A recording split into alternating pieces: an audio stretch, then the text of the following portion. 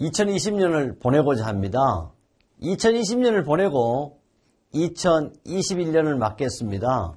이번 시험은 2020년 일반이라고 됐지만 정기검정이라고 이렇게 이야기하고 있습니다. 우리 교재에는 다 정기검정이라고 표시를 했습니다.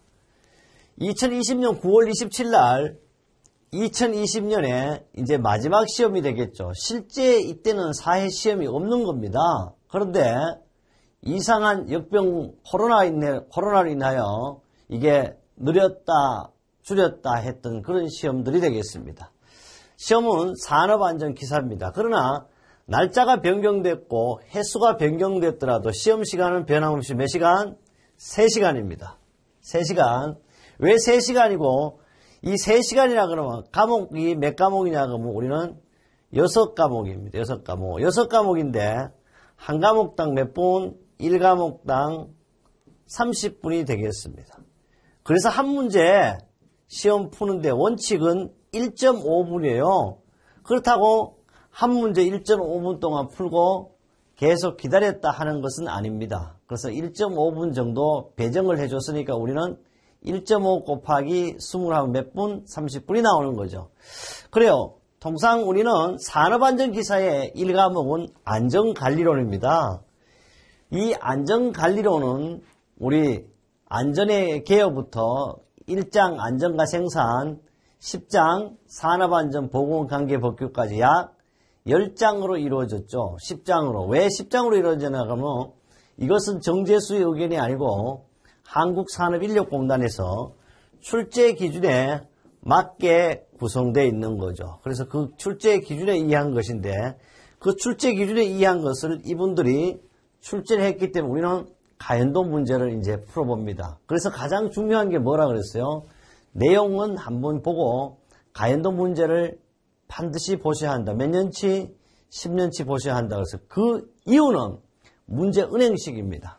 그래 1번 한번 해보자고요. 안전관리로는 역시 20문제고 100점이죠. 왜 100점이냐 그러면 한 개 5점이에요. 그래서 100점인데 한 문제가 5점씩이다. 100점을 향해 출발하죠.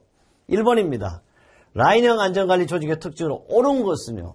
우리 시험은 대개 틀리는 것은 이게 많이 나오죠. 옳은 것이 맞, 옳은, 옳다는 것은 뭐 맞는 것을 골라라. 참 이게 어려운 거죠. 맞는 것은 보겠습니다. 1번 안전에 관한 기술 축적이 용이하다.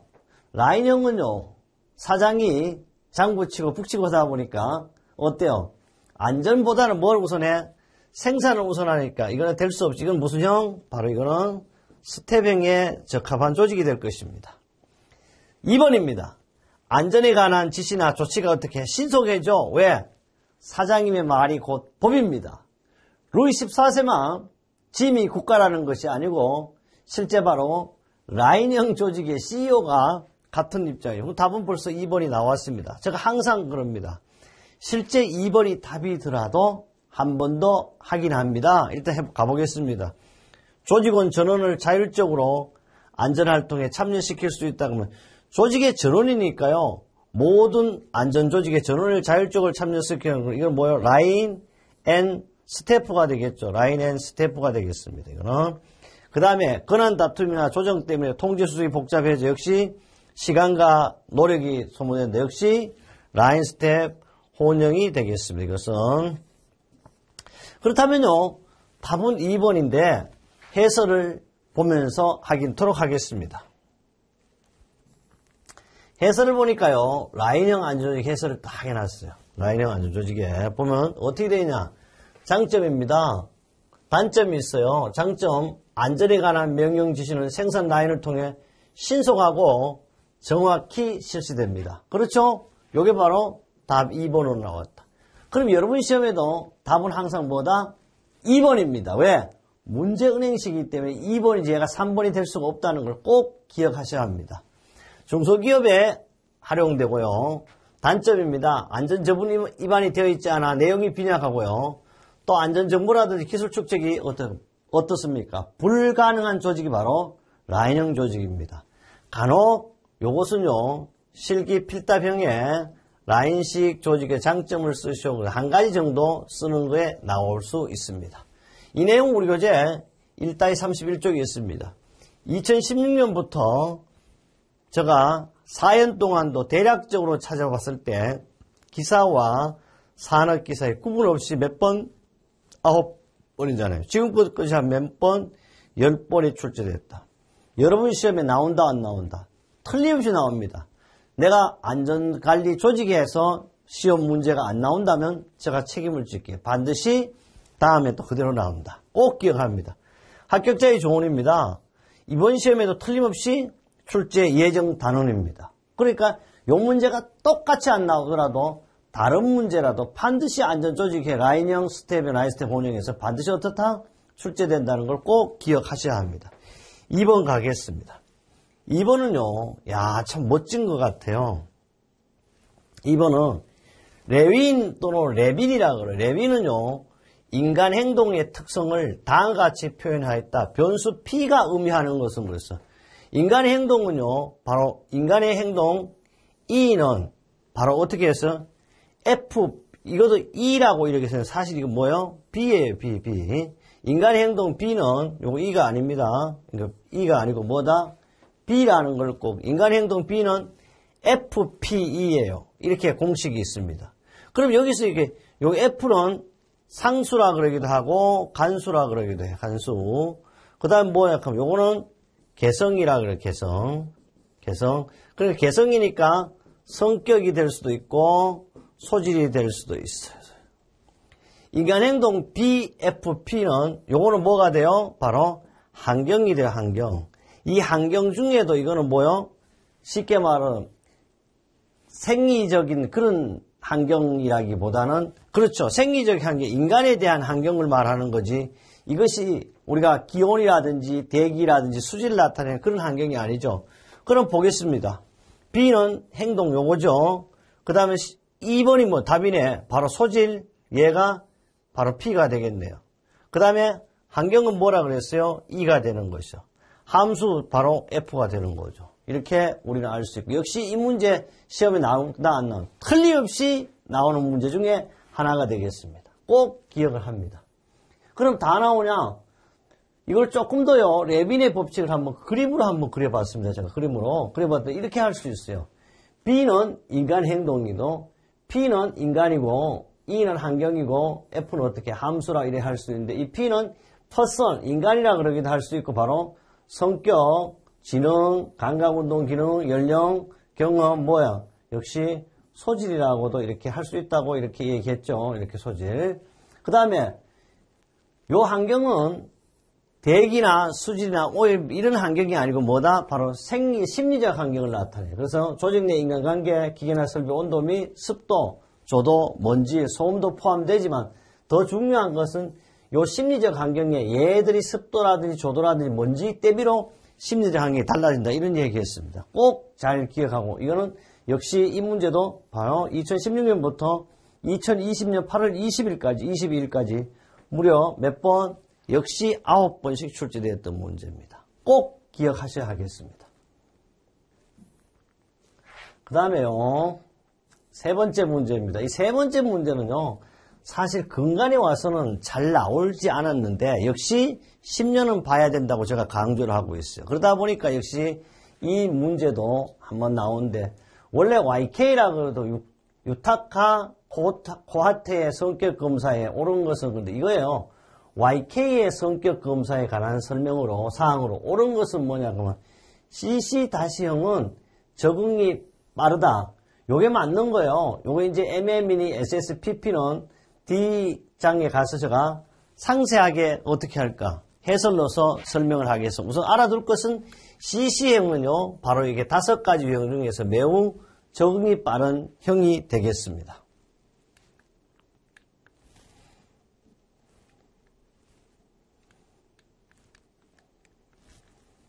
바로 보면요, 음, 이게 바로 CC형의 성격입니다. 보면 어떻게 되어 있냐? CC형은요, 작업 성격 인자형으로 오죠. 운동 및 결단이 매우 빠르고 기민합니다. 그러다 보니까 적응도 빠르고 단 세심하지 않습니다. 내부 집념이 부족하고 진공과 자신감이 강하게 되겠습니다. 적성 직종 일반적 성향으로요. 대인적 직업에 적합한 직종이 바로 C, C-형이 되겠습니다. 창조적 관리자직 직업에 적합하고요. 변화 있는 기술적 가공 작업에 적합하고 변화 있는 물품을 대상으로 불연성 작업에도 적합한 것이 바로 뭐다? CC-가 되겠습니다. 역시 우리 교재 1-111쪽에 있습니다. 그리고 얘는 어떻다? 상당히 오랜만에 나왔는 그런 문제가 되겠습니다. 4번입니다. 이거는 실기 역시 필답형에도 출제될 수 있는 그런 문제입니다. 재예방의 4원칙이에요. 재예방의 4원칙은 보니까 1번 손실 우연의 원칙 맞는 말이고요. 사전 준비의 원칙 이런 거 있다 없다 없어요. 이게 답이 되겠네. 답. 그러니까 이게 틀린 거예요. 재예방 아닌 것이니까 답은 2번이고요. 그래도 확인을 계속하자. 원인 계기의 원칙 또 원인 계기를 가져오는가 원인이 연결된다 그래가 원인 연계의 원칙 이렇게 이야기하기도 합니다. 대책 선정의 원칙 그렇죠? 재해는 반드시 대책 선정이 있습니다. 하나가 더 있다면 뭐가 없을까? 4원칙이니까 예방 가능의 원칙이 없네요. 그래서 답은 몇 번? 바로 2번. 그럼 네 가지 쓰라 그러면 손실 우연 원칙, 원인 경계 원칙, 원인 계기 원칙, 대책 선정 원칙, 손실 우연 원칙 이렇게 쓰시면 되겠습니다. 그렇죠. 예방 가능 이제 하나 넣었죠. 손실 우연, 원인 연계 또는 원인 계기라 그랬어요. 대책 선정의 원칙입니다. 그래서 이 교재 역시 2010, 2020년에도 계속 출제된 그런 문제가 되겠습니다. 합격자가 이런 얘기해서 반드시 이번 시험에도 출제 예정입니다. 적어도 하나 보태겠습니다. 어디에도 나온다? 실기 필답형에도 곧잘 나오는 그런 문제가 되겠습니다. 5번입니다.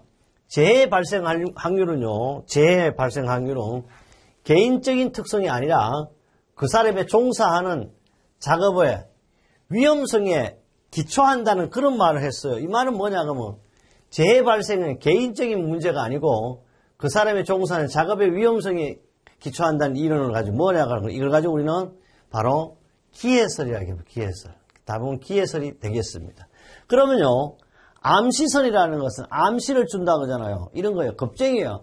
한번 재해를 당한 사람은 겁쟁이가 되거나 신경감인 등으로 재해를 유발하게 된다는 설을 가지고 우리는 암시설이라 고 그럽니다. 암시설. 그 다음 두 번째요. 경향설이라는 것은 타고날 때부터 소질적으로 좀 타고난 걸 가지고 우리는 경향설이라 고 그래요. 보면 근로자 가운데 재해가 빈발한 소질적 결함자가 있다는 설. 이게 미숙설은요, 말 그대로 아직까지 뭐가 숙련이 덜 되는 걸 미숙설이라 그럽니다. 여기 답은 바로 뭐다? 기회설이다. 그럼 조금 더 한번 보도록 하겠습니다.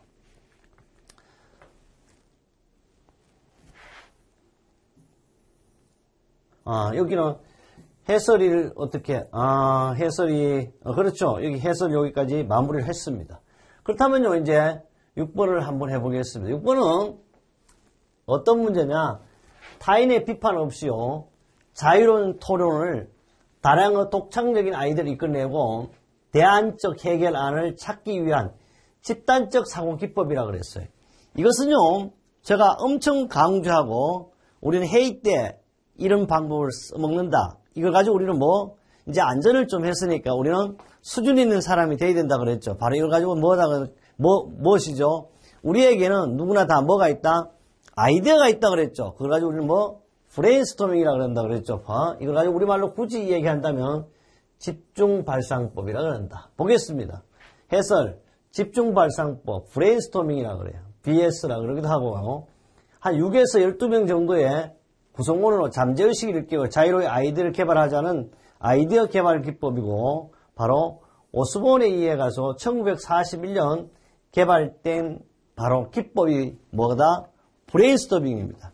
이 브레인스토밍은 또 네 가지 법칙이 있어요. 첫째 뭐가 있어? 왼손에 비판 금지, 자유 분방 또는 뭐가 있어요? 대량 발언, 또 뭐 마지막 뭐가 있노? 수정 발언 등이 있습니다. 꼭 잘 기억합니다.